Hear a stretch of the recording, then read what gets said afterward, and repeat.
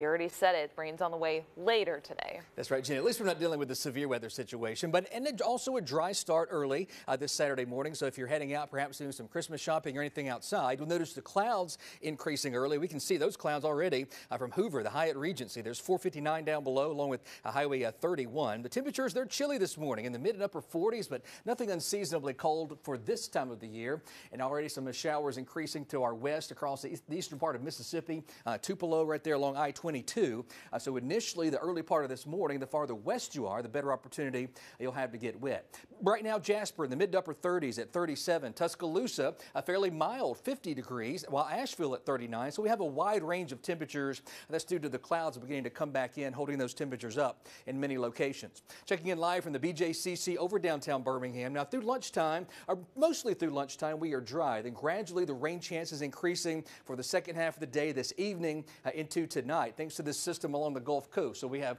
a rain increasing there just south of the Florida Panhandle, a second batch of rain back out here in Mississippi, and that will all co combine to lead to a kind of a messy evening and night uh, for us here in central Alabama. But fortunately, as I mentioned, this is not a severe weather situation.